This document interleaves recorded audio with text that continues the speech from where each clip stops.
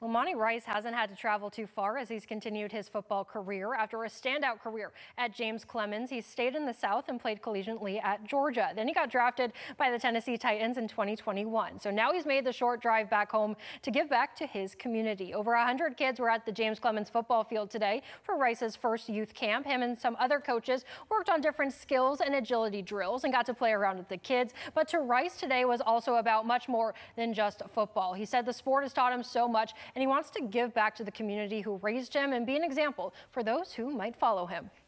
I think it's huge to like have people that you know lived in the same area you did, grew up in the same area you did, and they doing something that you want to do, and that just let the kids know that hey, if Monty Rice can do it, I can do it. That's just the example I want to set. Just you know, because I used to have teachers when I was young. When I was telling them I wanted to play in the pros, they'd be like, "You to have a plan B," all this other stuff. It was like only one percent make it, and I'm just like, why can't I be the 1%? And that's the same thing for these kids. Y'all can be the 1% is if you choose to.